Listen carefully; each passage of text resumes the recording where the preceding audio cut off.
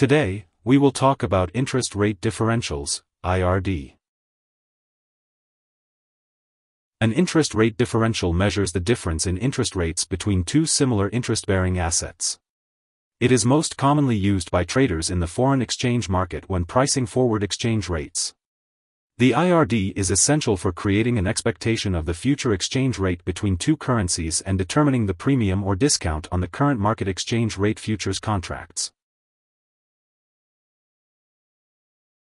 IRDs are used to simply measure the difference in interest rates between two securities. For example, if one bond yields 5% and another yields 3%, the IRD would be 2 percentage points, or 200 basis points. This type of calculation is often used in fixed income trading, forex trading, and lending scenarios. Additionally, the IRD is also relevant in the housing market when describing the difference between the interest rate and a bank's posted rate on the prepayment date for mortgages. It is also a crucial part of the carry trade strategy, which involves borrowing at a low interest rate and investing the proceeds in an asset that provides a higher rate of return.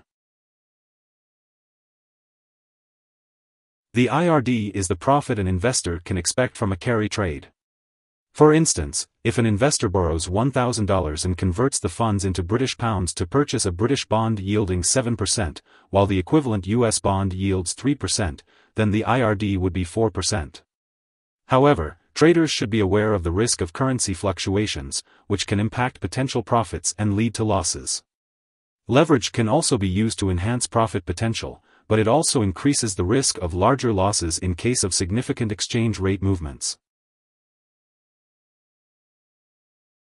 In the context of mortgage, IRD can be calculated when homebuyers borrow money to purchase houses. For example, if a homebuyer took out a mortgage at a rate of 5.5% for 30 years and has 5 years left in the mortgage term, the lender could use the current market interest rate offering for a 5-year mortgage to determine the IRD.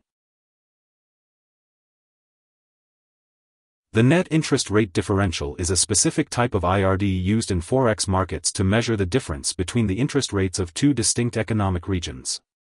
NIRD is more commonly used to calculate the difference in any interest earned and any interest paid while holding a currency pair position. Here are three key takeaways. 1. Interest rate differentials, IRDs, measure the difference between interest rates of two different instruments. 2. IRD is most often used in fixed income, forex, and lending markets. 3. IRD also plays a key role in calculating a currency carry trade. Hope this would help, thanks for watching.